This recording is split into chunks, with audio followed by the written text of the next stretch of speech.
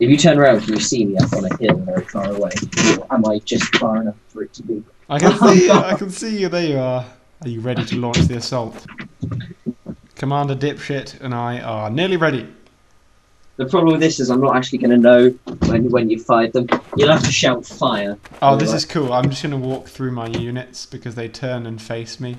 It's gonna be like Okay. Um, it's gonna be like Gladiator. Hang on, it's gonna be like Gladiator. Okay, but but when, when you when you shout fire, that's when I'll launch the. This robot is screwed. I mean, we can't do anything from here, but it's still.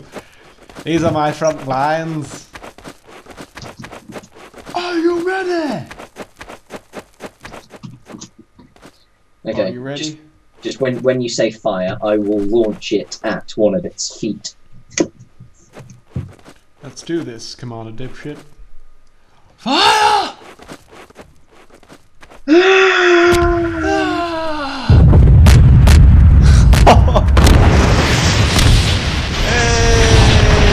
we did it! We did it!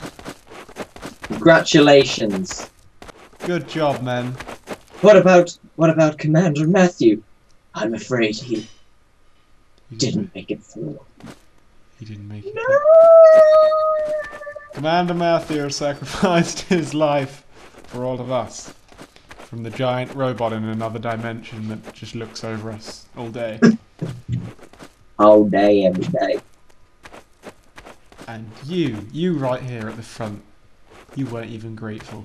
And that is why I'm going to ignite you. Oh my god! Ah. I will have my revenge.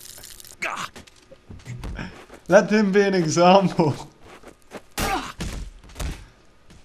We're taking heavy fire!